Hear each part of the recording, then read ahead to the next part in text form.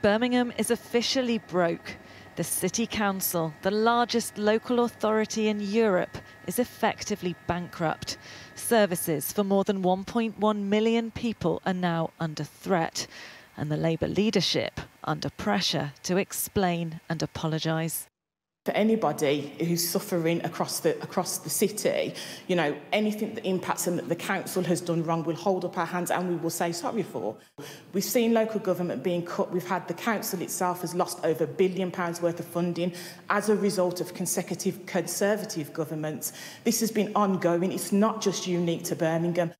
What is unique to Birmingham is the council faces a £760 million bill for equal pay claims it still owes after a court ruling in 2012. A botched IT upgrade could cost £100 million, and leaders also blame inflation for the £87 million black hole in the current budget. But the Tory opposition blame mismanagement. They've been telling the public there was going to be a golden decade to get re-elected, while in fact we now know they built it on fool's gold, where the accounts haven't been signed off and there's no actual allowance made for the debt that they owe.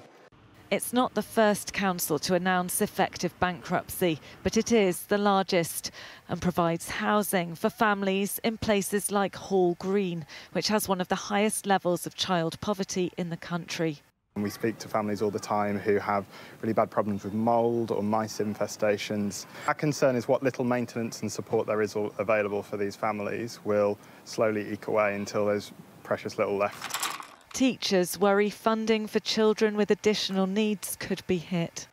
We rely on that money to be able to get the resources we need for our pupils and to um, pay for additional adults. We have a speech and language therapist that we pay for that comes to school.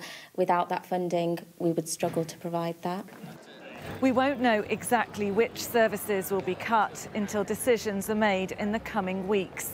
But in this current cost of living crisis, when so many people need more help, the reality in this city now is there'll be even less to go around. And while the political blame game continues here, it's the people of Birmingham who'll lose out. Becky Johnson, Sky News, Birmingham.